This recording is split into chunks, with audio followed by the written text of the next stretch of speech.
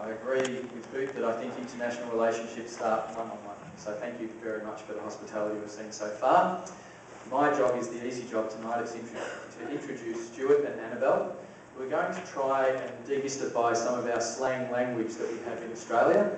Some people believe we speak English and some people aren't quite so sure. So can we give them a little round of applause?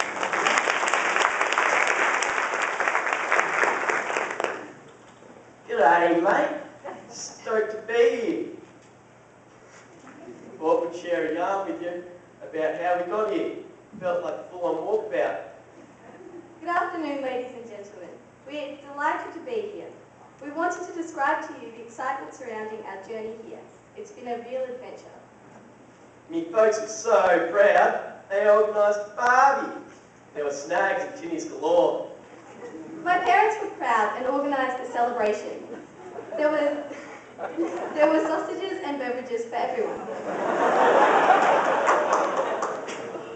When I got my swag together, I noticed we could bring togs, but we weren't allowed to bring our budgie smugglers. When I organised my luggage, I brought modest swimming attire and sandals.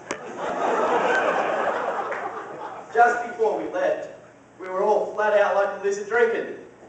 But once we were on the plane, we were finally able to take a kip.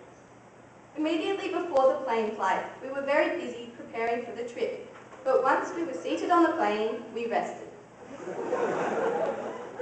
In the morning, the grub was all right, but when we finally got off the plane, we were knackered.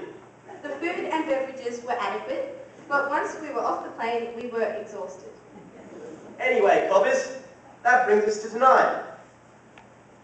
Hope I haven't made too much of a wally of myself. Sure we'll all make great mates by the end of this shindig. Thank you, ladies and gentlemen. We hope you've enjoyed our presentation and we look forward to becoming friends with everyone at Space Camp.